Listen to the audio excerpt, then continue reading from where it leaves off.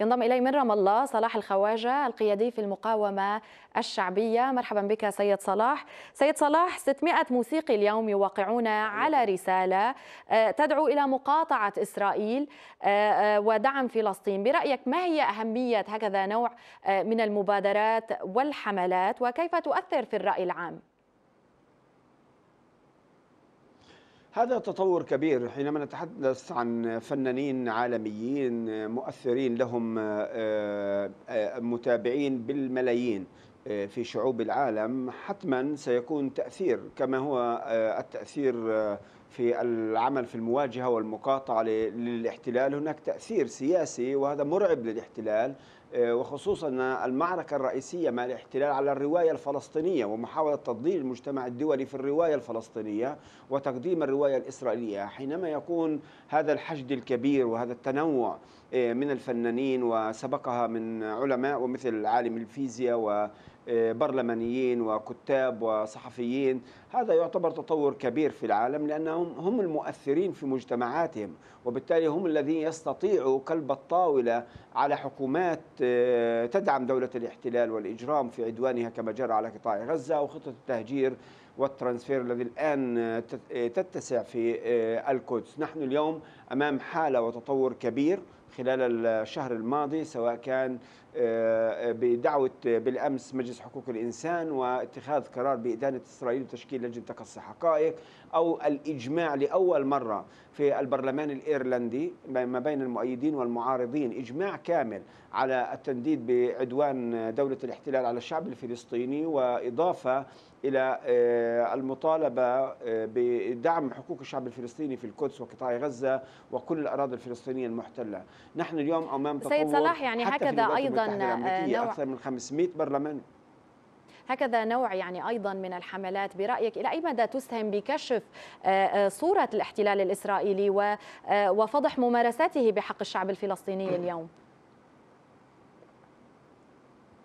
هذا هذه الخطوة الأولى، أولا نحن نريد أن آه، أن نفضح سياسة الاحتلال، محاولات الاحتلال وبدعم الولايات المتحدة الأمريكية الذي وضعت القضية الفلسطينية ليس على أولويات المجتمع الدولي، اليوم هذا التضامن مع الشعب الفلسطيني يعيد مكانة القضية الفلسطينية إلى مكانتها الطبيعية على أجندة كل المنظمات والهيئات الدولية أولا، وثانيا آه، تتسع حملة التضامن مع الشعب الفلسطيني سواء من لجان تضامن أو من جاليات عربية وفلسطينية أو من لجان مقاطعة أو من برلمانيين وأحزاب سياسية عالمية.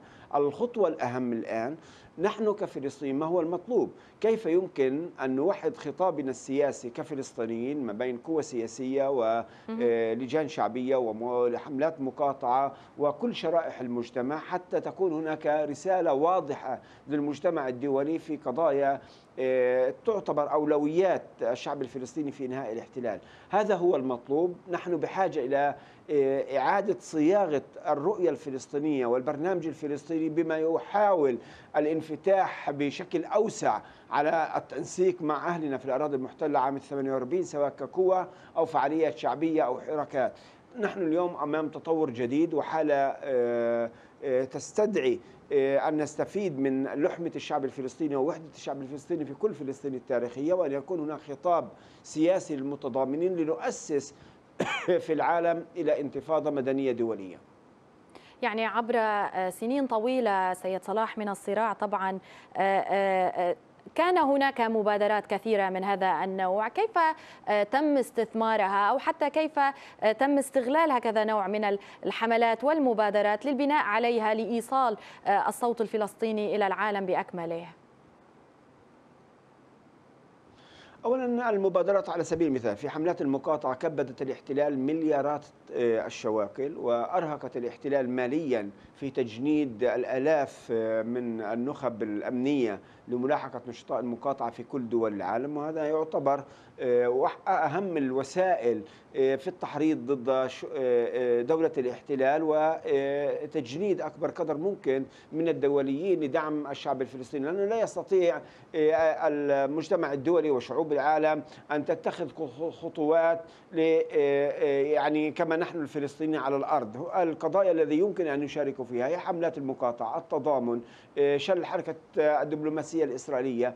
كل ذلك نحن آه، حتى في لجان التضامن الدولي ومشاركتهم معنا ضد الجدار والاستيطان ومحاولات إظهار ما يجري من سياسة الفصل العنصري في الأراضي المحتلة تحول كل أصدقائنا الدوليين إلى مذياع متنقل في حزبه ومكتبه ومؤسسته وفي كل مكان يصل له يحرض ضد الاحتلال وسياسة الاحتلال والاستعمار ونظام الفصل العنصري الذي تمارسه دولة الاحتلال في الأراضي الفلسطينية. نحن اليوم هناك تطور كبير وواسع في العالم وحتى في الولايات المتحدة الأمريكية الذي خرجت أكبر المسيرات في التضامن مع الشعب الفلسطيني وضد العدوان في قطاع على قطاع غزة إيه، نعم. والقدس كانت في الولايات المتحدة الأمريكية وبالتالي هناك تطورات ولكن هذه التطورات الذي الآن بدأت تكون واضحة في الصحف البريطانية والأمريكية وجزء من الصحف الأوروبية الذي اعتبروا أن محاولات التضليل على نعم. إيه، التغيير في الواقع الفلسطيني كما ادعى بن غوريون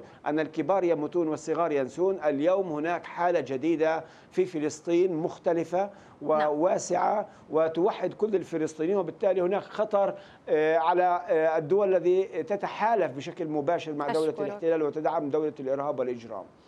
شكرا جزيلا لك